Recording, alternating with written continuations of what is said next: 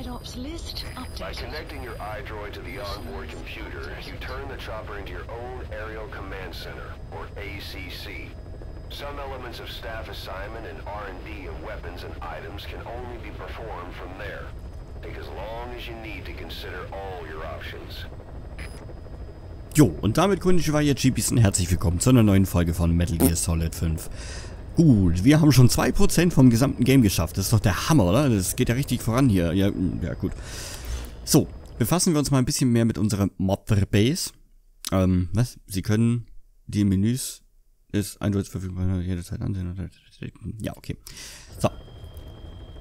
The Motherbase. Also quasi unsere Kommandozentrale. Hier sehen wir haufenweise Menüpunkte, wie da zum Beispiel wären Anpassen.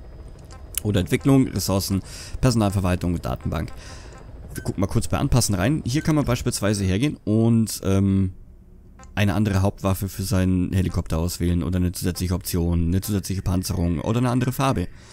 Da hätten wir zum Beispiel, ich mag zum Beispiel einfach nur schlicht schwarz, wenn es irgendwie sowas in die Richtung gibt. Da was? Irgendwas einfach nur schwarz. Ziemlich dunkel. Ja, ja. Kann natürlich auch Gold nehmen hier, so bam. Schick, ne? Ja, traumhaft. Oder Silber. Auch nicht hässlich. Ich nehme jetzt einfach mal schwarz. Ähm, Hauptwaffe, wir haben, wir haben sowas noch nicht entwickelt, da kommen wir nämlich auch gleich zu. Und auch vom Chassis her haben wir kein neues. Somit können wir jetzt hier leider nicht mehr machen. Anpassung einblenden. Ja, bitteschön. Äh, Dankeschön. Denn Tagesbonus erhalten. Schangedünn. Und MB-Münzen halten. Ja, top. Gucken wir auch mal bei Gelegenheit rein. Oder jetzt, wenn es gerade so, ins, äh, so ins Auge sticht. Man kriegt immer mal wieder durchs ähm, Erfüllen von, von so kleinen Mini-Zielen, wie zum Beispiel so und so viele äh, Ausschaltungen, taktische Ausschaltungen und sowas gemacht, kriegt man immer wieder so Belohnungen, wie jetzt zum Beispiel hier ist ein Tagesbonus, einfaches Metall, 500, äh, 5000 Stück. Zupf, nehmen wir mal mit. So. Anpassen, was können wir noch machen? Emblem. Man kann sich quasi äh, dieses Diamond Dogs Bild auch noch anpassen. Grundfarbe von der Motherbase kann man festlegen. Ich habe da auch gern so ein richtig schön einfach nur schwarz. Weil ich finde, dieses Orange ist halt ja, so typisch Ölbohrinsel-mäßig. Es gäbe natürlich auch noch weiß, was auch nicht hässlich ist, aber ich finde schwarz. So. Okay. Gut. So, Jungs, ihr dürft streichen. Dann, was können wir noch machen? Wir können unseren Avatar ändern. Welches sich wahrscheinlich auf den vom, mm, ja genau, vom Multiplayer bezieht. Welchen ich aber nicht vorhab. Von dem her, tschüss. Pfiff. Aber wir gucken auf jeden Fall jetzt noch in die Entwicklung rein, denn ähm, wenn wir natürlich schon genug Ressourcen haben, dann sollen die sich auch beschäftigen und uns die ein oder anderen Dinge machen. Schauen wir mal bei Waffen und Gegenstände rein. Jetzt kann man sich natürlich hier so durchfuchsen, ob da was dabei ist, was man haben möchte. Ich gehe aber gerne immer so von, von Waffentyp und Gegenstandstyp zu, zu, zum nächsten halt durch. Hier sehen wir zum Beispiel, ähm, ich könnte jetzt eine normale Schusswaffe herstellen. Oder hier diese Burkov. Finde ich persönlich für meinen Spielstil absolut uninteressant. Ich möchte ja so gut wie es geht nicht tödlich agieren. Somit werden die hier für mich interessant sein. Klar, Maschinengewehr für den harten Fall, wenn es dann mal wirklich notwendig ist. Okay, lass ihn noch mit mir reden. Aber da können wir noch nichts Interessantes herstellen, so wie ich das sehe. Wenn dann natürlich auch wieder mit Schalldämpfer, ist klar. Könnten hier eine UN ARC herstellen. Äh, also es gibt jetzt anfangs natürlich noch nicht so viel Schrotflinte. Ja, bin ich sowieso nicht Fan von. Granatwerfer überhaupt nicht. Scharfschützengewehr ja, allerdings hier mit Betäubungsfunktion. Richtig cool. Aber da brauchen wir beispielsweise Entwicklungsteam auf Level 15, momentan ist es auf 4. Und Sanitätsteam auf 15, momentan 0. Also da ist auf jeden Fall noch was zu tun. Was gibt es denn an kleinen Gimmicks, die wir vielleicht brauchen können? Äh. Attrappen könnte man aufstellen. Ähm, Leuchtgranaten für unseren Hubschrauber. Rauchgranaten, ja, ist für mich auch schon ein bisschen zu sehr Aufsehenerring. Was ich auf jeden Fall mache, ist C4, denn es gibt auch manchmal so Einsätze, in denen man äh, bestimmte Objekte zerstören muss. Für diesen Einsatz ausrüsten. Ja, geh mal her. Und später dann auch diese Fangkäfige, um kleine Tierchen einzufangen. Die soll man ja auch ev evakuieren. Äh, hier gibt es noch nichts Neues. Klamottentechnisch gäbe es jetzt die Wüstenfuchs-Ausstattung. Ähm, ja, nehmen wir mal mit. Klamotten sind immer schick. So. Das war es eigentlich auch schon. Dann Begleiterausrüstung. Gucken wir mal, was wir da machen können. Für unser D-Horse könnten wir beispielsweise noch einen verbesserten Kampfanzug herstellen. Einfach um dem Pferd mehr Schutz zu geben und sowas. Brauchen wir aber auch äh, beispielsweise Entwicklungsteam auf 5, momentan 4. Wird also bald verfügbar. Für den Hubschrappschrapp. Ein Lautsprecher. Finde ich an sich eine coole Idee. Ähm, nur möchte ich damit noch warten, weil dann wird auch diese, die, die Musik, die wir in den Radios hören und so weiter, immer mal wieder äh, kommen und, und das kann natürlich ein bisschen YouTube-Urheberrechtskram Probleme hervorrufen. Von dem erwarten wir da erstmal noch ab, wie sich das mit den normalen Musikstücken, die wir so hören, verhält. Das ist eher was, was, was mich jetzt betrifft. Für euch leider schade, wenn ihr nicht zusätzlich Musik hören könnt. Ah ja, ich brabbel zu viel. Ne, wie immer. Nächste Mission. Genau, jetzt haben wir hier die Missionsliste. Wir haben Nebenoperationen und wir haben Kassetten zum, Ab äh, zum Anhören. Ähm, ich würde sagen, ich mache erstmal die verfügbaren Nebenoptionen, bevor wir uns wieder der Hauptstory widmen. So können wir jetzt zum Beispiel entweder einen Elite-Soldaten rausholen oder einen russischen Dolmetscher. Vom russischen Dolmetscher hätten wir jetzt persönlich mehr, von dem her Attack. Irgendwo hier in dem Bereich soll er sich befinden. Ich nähere mich mal gerne von, von Osten her. kann jetzt hier wieder Ausrüstung festlegen. Aber da gibt es noch nichts Neues. Und ich bin mir nicht sicher, unter welchen Umständen, von dem her nachts. Das ist immer so für mich die beste Zeit, um irgendwie loszuziehen, um was zu machen. Ein nachtaktiver Snake.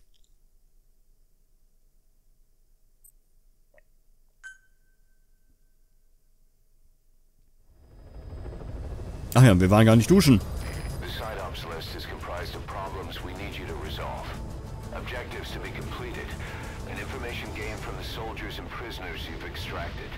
These aren't missions per se, but if you can take care of them when you're free, I'd appreciate it. Machen wir. Da wartet schon unser Gaul. Ja, Yami.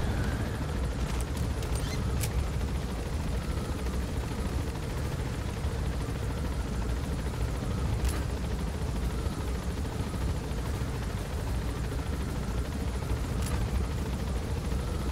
Something of an ancestor to the domestic carrot. It's also a favorite of wild animals. Gut zu wissen.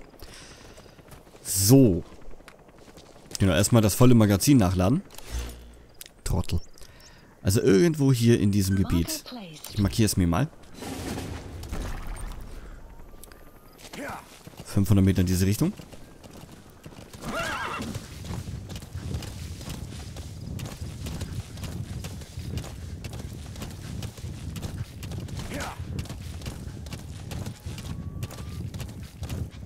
Jetzt sind das noch 300 Meter. Ah, in diesem Posten da hinten. Okay.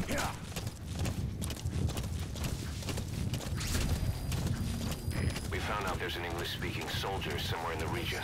He's a language specialist. His role is to translate information related to the West into Russian. If we can get him to join us, we'll have the upper hand in information warfare. Find this language specialist and extract him. Yep. That's the target. Er also, okay. In Begleitung von zwei netten Herren.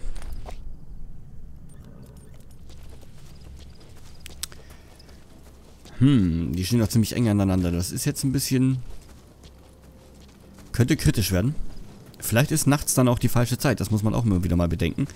Ähm, manchmal spielt auch die Tageszeit eine Rolle, wann man theoretisch die besseren Chancen hätte. Also so wie ich das sehe.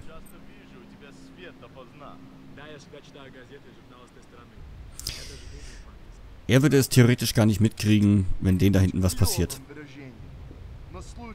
Jedenfalls im Moment. I spent. I spent. Last night. Last your girlfriend.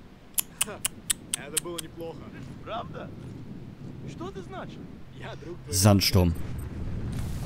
Perfekt. Das ist unsere Chance.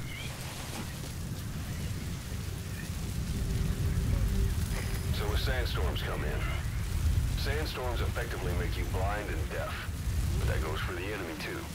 Use the situation to your advantage. Mm -hmm. A mhm. Soviet soldier in the Green Beret is speaking English. Must be a language specialist. With him on our side, we'd be capable of Russian interpretation support. Try and extract him. Wir haben nicht viel Zeit. Ah, der geht sogar rein.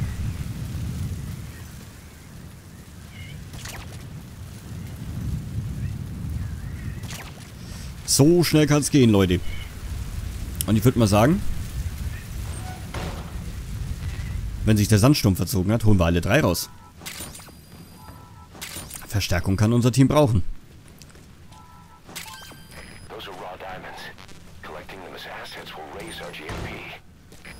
Es noch mehr Interessantes? Ne, aber der Sandsturm ist schon wieder vorbei. 30-prozentige Chance. 90. Aber wahrscheinlich 90-prozentige Chance, weil unser Team noch nicht weit genug entwickelt ist, um 100% zu gewährleisten. Macht Sinn. Na denn? Guten Flug. Du auch. Subject on board.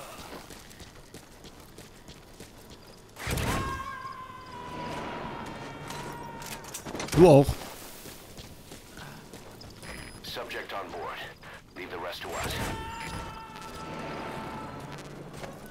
Hier drin können wir den natürlich nicht evakuieren. Macht Sinn, weil Dach über dem Kopf. Aber hier.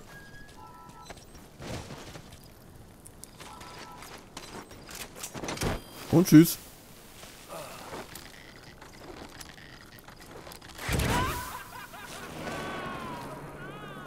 Der denn fallen gelassen. Extraction arrived at Metabase. Aber er hatte Spaß. Boss, that language specialist you extracted has been very cooperative. added. Says he's always dreamed of living a free life, like folks in the West. What are the odds, huh? I've gone ahead and placed him in the support unit. His job is Russian interpretation. Now you'll know what Soviet soldiers are saying. You can even interrogate them. Should give you an edge in the mission. So ist es. Wir haben jetzt quasi die Möglichkeit, die russischen Soldaten zu verstehen. Was natürlich praktisch sein kann, wenn wir irgendwie eine Geisel suchen in einem Lager und wir wissen nicht, wo die genau befindet, können wir einen verhören. Coole Sache. Und was der Typ verloren hat, glaube ich, war sein Helm. Als es so hochgeflogen ist. Coole Sache. So. Äh, wir brauchen einen Heli. Ne, da hinten wäre die nächste Mission. Holen Sie den Elite-Soldaten raus. Naja, Charge, wa? Muss ich jetzt theoretisch der Straße folgen und dann links und dann geradeaus und dann geradeaus und geradeaus und geradeaus. Okay, oder ich könnte auch da, aber da komme ich durch das Lager. Ach ja.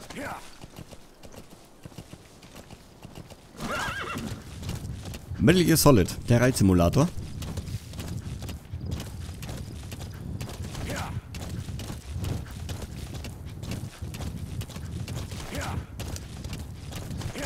Drei Kilometer.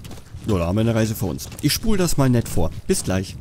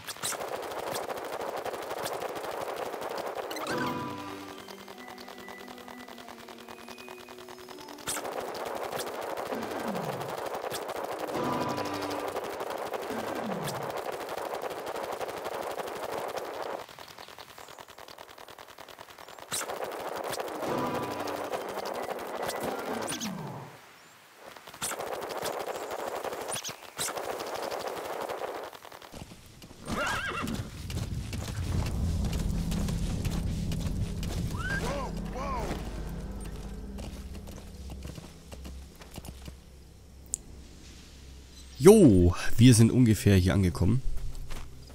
Das heißt, es nur noch diesen Elite-Soldaten finden.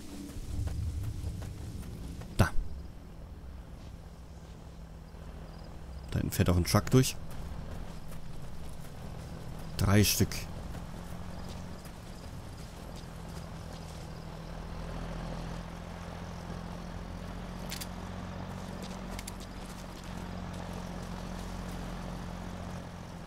Das heißt jetzt wieder Avanti Avanti.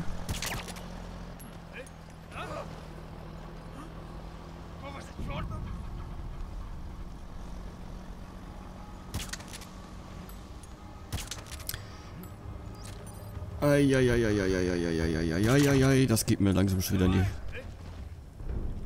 Jetzt natürlich voll verwirrt. Aber, hier... Nix du schläfst auch. So ist es fein. Puh.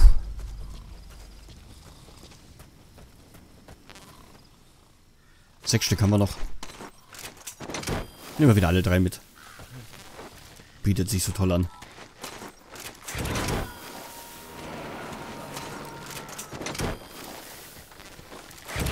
Da ist ein Piepmatz. So your suppressor is worn out. That gun will be as loud as any other now. If you have to shoot, careful. Das ist ein ziemlich großes Lager. Da werden wir garantiert auch mal rein müssen. Aber jetzt haben wir erstmal, äh, ja, ne? Unseren, unsere beiden Nebenmissionen erfüllt. Von dem hier rufe ich mir jetzt einen Helikopter. Hubschrapp, treffen. Schön, dass hier so in der Nähe was ist. Hm. Nehmen wir mal den da.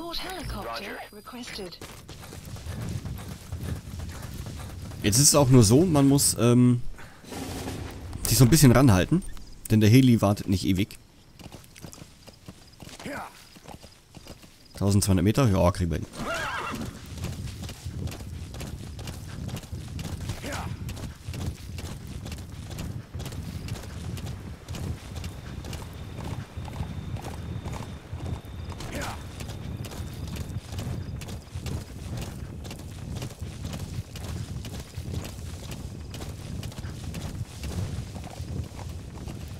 Haben wir doch einiges gerettet. Und ihr habt vielleicht gesehen, ähm, während ich ähm, zu dem Elite-Soldaten-Dingens da hingaloppiert bin, habe ich mal kurz angehalten und Schafe rausgeholt. Es liegt daran, ähm, man wird auch dafür belohnt, wenn man eben Tiere, Tiere evakuiert, rettet, einsammelt, wie auch immer. Weil man dann auch so, so ein bisschen so einen Auftrag gekriegt hat von der Tierschutzorganisation. Finde ich eine coole Sache.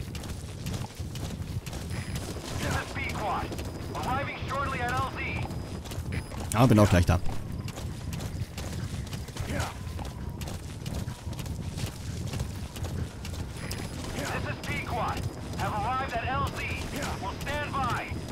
Jojo, jojo, bin auch gleich da.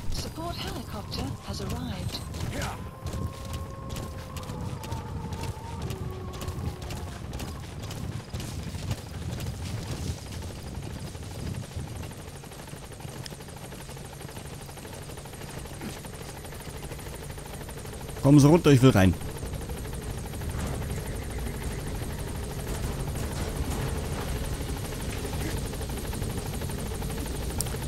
Dankeschön. Ach, da wäre noch eine Pflanze gewesen.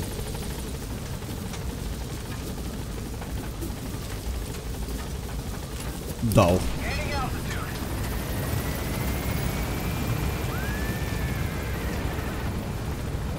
Die Horse ist auch wieder mit dabei. Sehr schön.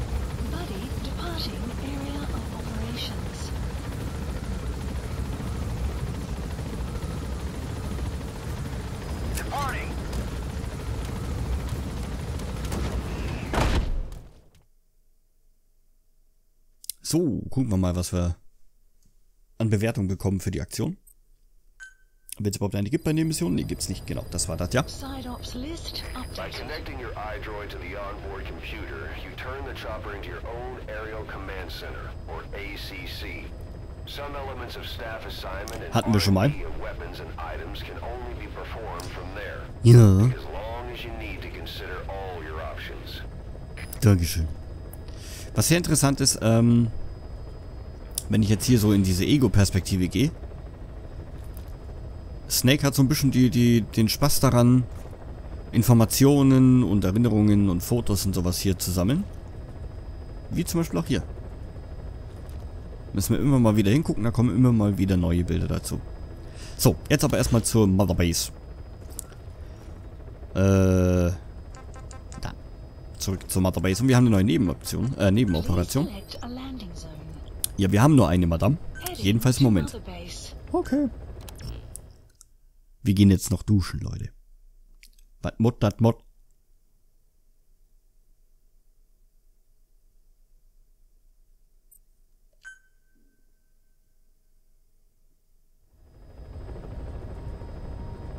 Der ist mir ganz schön dreckig, der junge Mann. Guckt ihn euch mal an.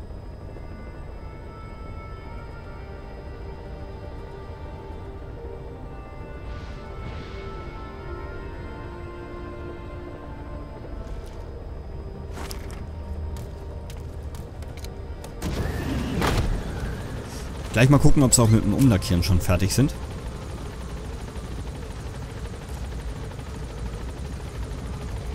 Jep. Fein gemacht.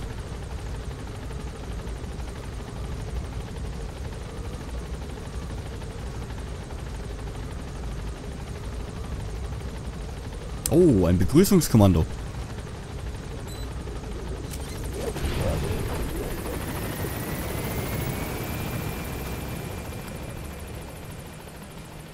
Moin Jungs. Na? Wie ist die Luft im Schlipper? Boss, welcome back. Dankeschön.